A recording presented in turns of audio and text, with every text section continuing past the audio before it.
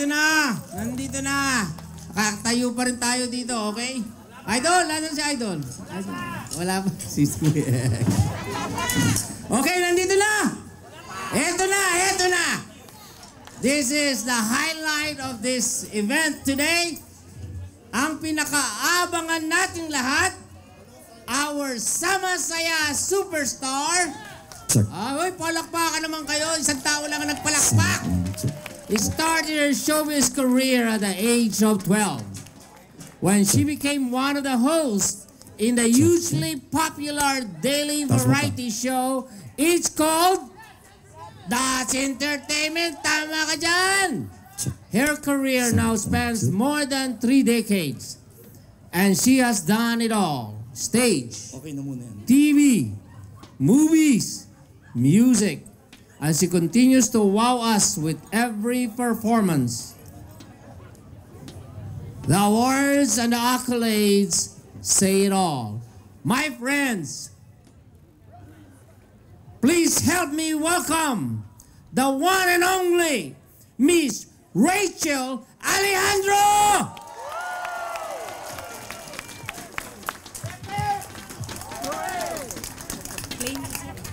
Hoy, isa pa, isa pa, isa pa! Palakpakan kayo, hoy! Carson, welcome! One more time, Miss Rachel Alejandro!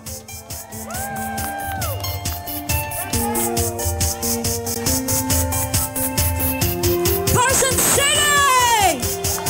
Lagi naaalala ang kanyang tindig at forma At kapag ay nakita,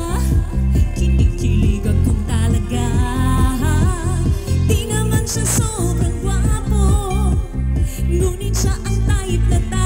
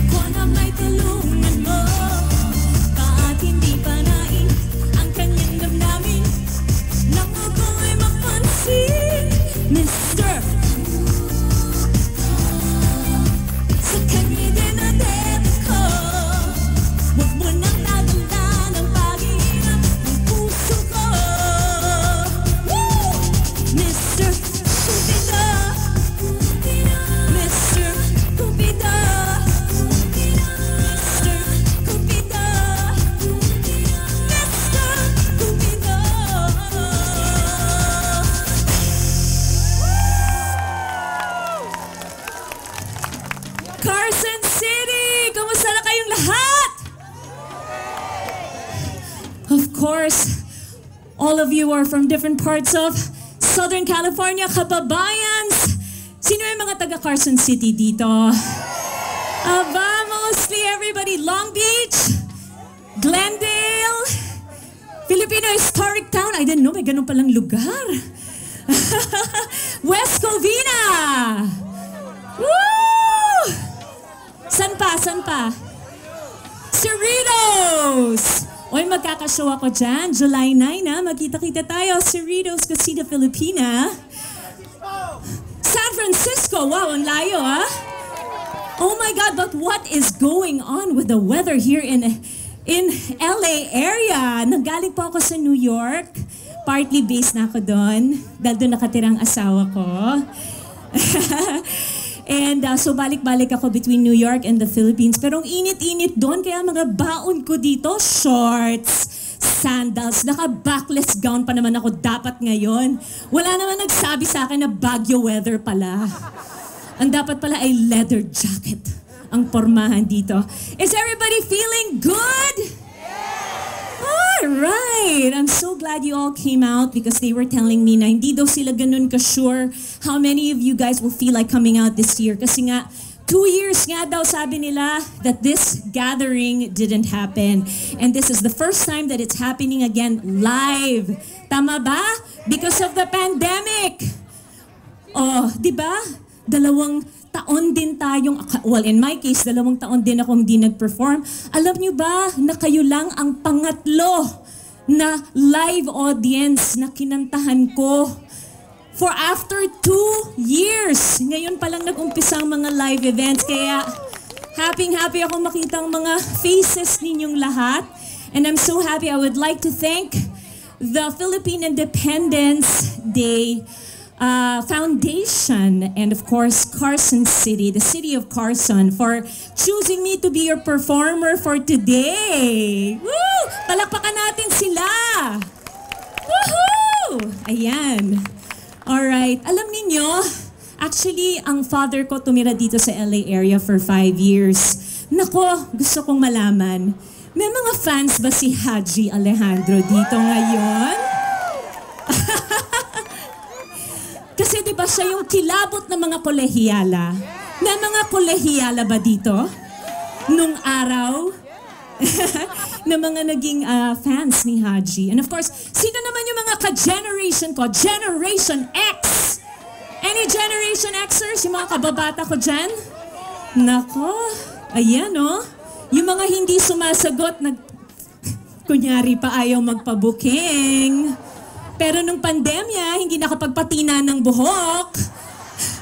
Ako naglabasan yung mga puting buhok ko. Ewan ko sa inyo. Tapos nung finally nalaman ko, oh, ito na, may mga concert na ulit, back to live events. Naku, sinukat ko lahat ng mga costumes ko na pang show. Sabi ko, hindi na yata kasha. Di ba, nagtabaan dahil lahat talaga nakaupo lang, nanood ng Netflix. Di ba? And of course, I want TFC! Of course, sinamahan tayo ng TFC at I want TFC this entire time and we needed that more than ever before dahil nga nasa bahay tayong lahat. But we are here! And we are so, so, so happy to see all of you guys. Woo! Alright, so kahit na medyo baggy weather tayo ngayon, paiinitin natin because marami akong baon na mga kanta para sa inyong lahat. Starting off with this next one, yung mga kababata ko, you will recognize the song, maybe even be able to sing along. Kasi maliit pa ako, my grandma, yung aking lola, bumili ng, naalala niyo pa nung araw, di ba yung 45? Yan, yun pa yung pinapatugtog noon, wala pang YouTube, di ba? O sa Tagalog, YouTube, di ba? So, let's play that music. Let's see if they know this one. It's from my album, The Great OPM Songbook Volume 1 under Star Music.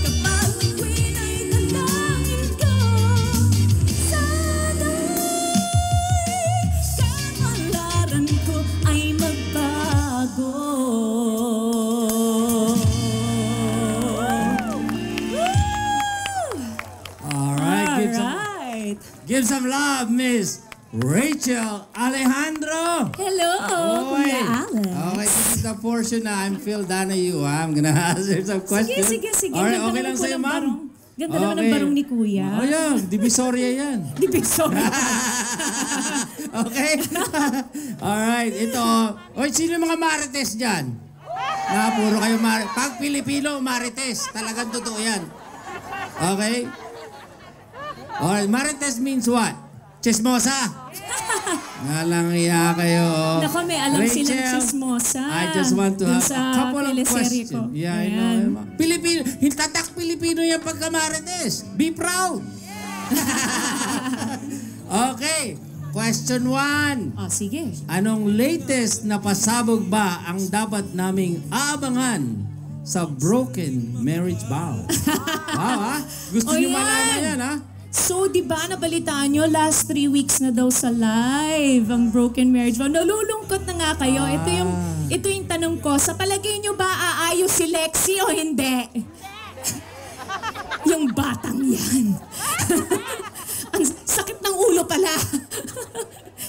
Teka, meron lang akong actually naisip ko lang. Alam nyo ba, kasi ganito yon bilang actor, ano kami, um, parang kasama sa pag-prepare namin para sa role, para buuin namin yung pagkatao ng character na inag-iisip kami ng backstory. Kumbaga yung history ng character. Alam nyo ba na naisip ko si, anong pangalan ng character ko?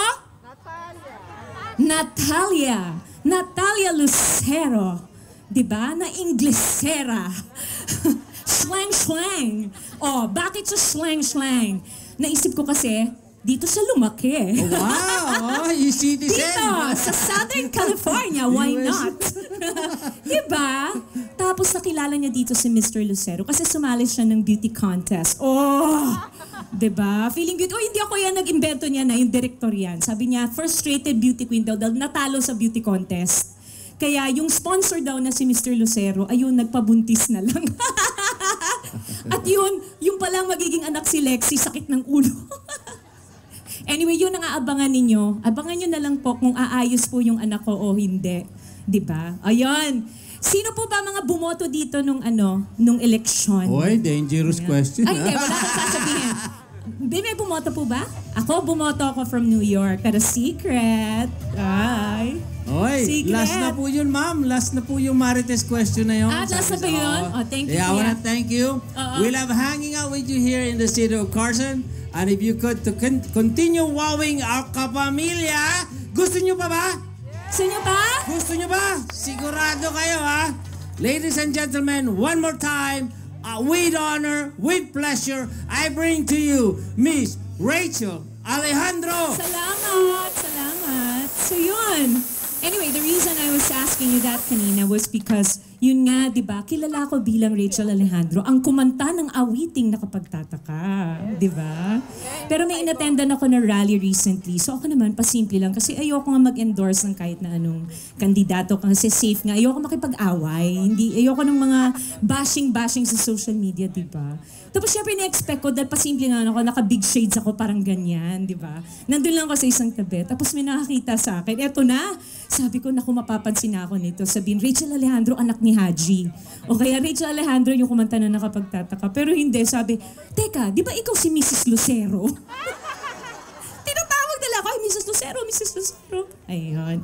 Anyway, thank you so much po for watching The Broken Marriage Vow. And tuloy-tuloy lang natin ang suporta. Dahil dyan, because during the time na wala po masyado talagang mga singing engagements, wala kaming mga live concerts, yan po ang naging ah, bumuhay sa akin. And kasi nga, binigyan ako ng opportunity ng ABS-CBN and Dreamscape Entertainment na gawin yung teleserye na The Broken Marriage Vow. That's why punong-punong-puno ng pasasalamat ang puso ko. Music, please.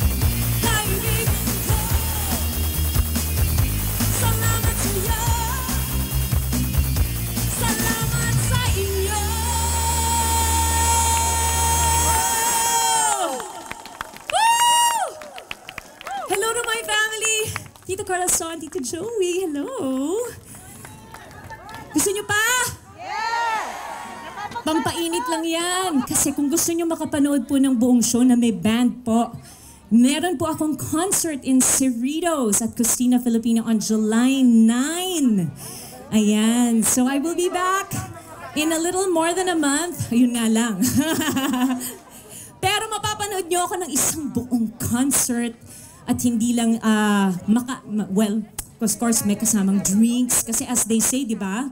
Mas maganda daw, mas masaya pag may konting inuman. you guys having a good time? Talaga? Oh yeah. It's, gusto ko lang pasalamatan ulit ang TFC, I Want TFC, ang ating mga kaibigan. And after my performance, abangan niyo po ako sa Sendwave booth kasi pwede po tayong mag-picture taking. Di ba? Oo, kasi pag hindi natin na-post ito, hindi to nangyari. Di ba? And of course, once again, thank you so much to Philippine Independence Day uh, Foundation and the City of Carson. Once again, let's give all of them a big round of applause. All right. Gusto niyo pa bang gusto niyo bang marinig yung mga signature songs ko? Diba? There's nothing like original Filipino music to bring us together.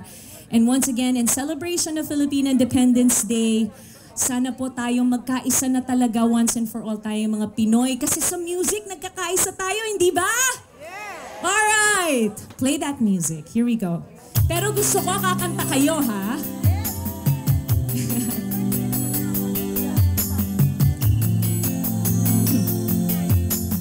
Hi! Hello, hello! I didn't see you there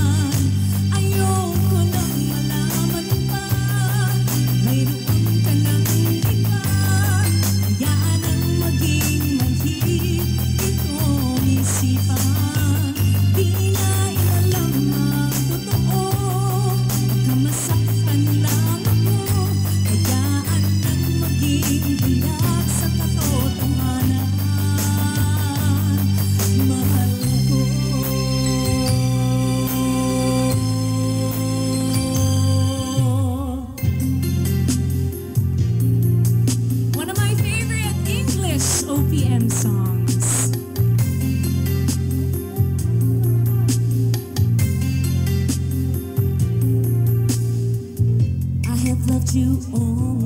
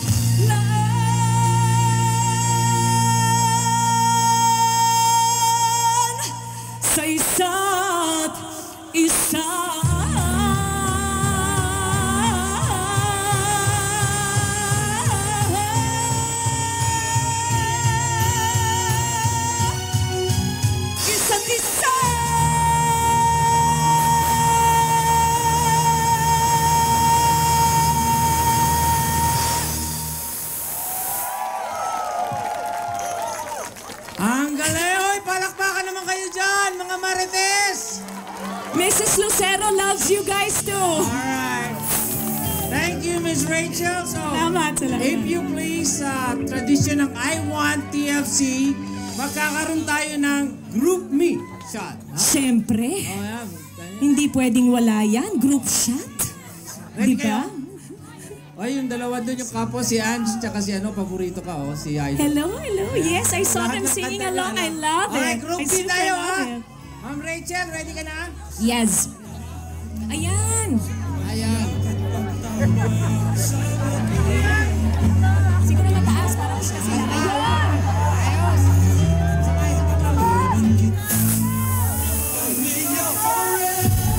Forever. Forever. Forever. Thank you so much again. All right, we have the Mayor Pro Tem. Our councilman wants to present you a plaque.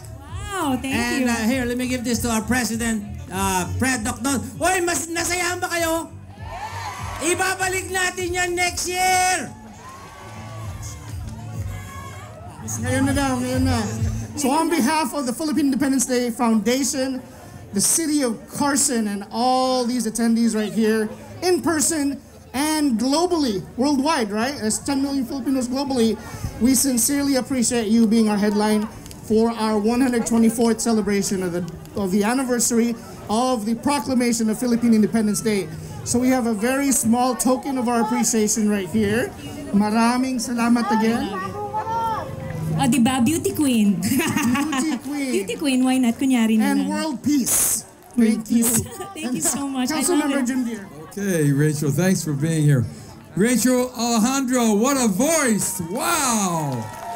And you're blessing the city of Carson with your talent, your beauty, and your brains. What a combination. That's kind of an average Filipina, right? No, just kidding.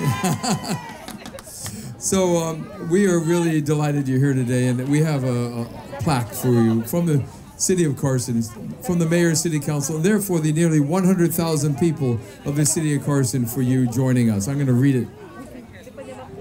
It says, Rachel Alejandro. Do you like that name?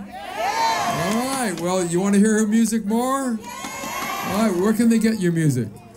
I will be back in Cerritos on July 9. I'll be bringing CDs with me next time. So para they can have it. And of course on Spotify, don't forget the great OPM Songbook Volume 1. It's available on all music platforms. They can buy it online. They can buy it online. Yes. I love you too. Uh oh. We have a love fest going on. Uh, this is in recognition of your remarkable achievements as a multi award premier singer and international actress. Thank you for coming to the city of Carson as our special guest on this 124th anniversary of Philippine Independence Day. Thank you for sharing your talent and wishing you continued success. Presented this 4th day of June 2022 by the Mayor, City Council, and citizens of Carson, California. Rachel, we do love you. Love you back. Thank you so much. Thank you. Thank you. Flowers. Wow. Yes, yes.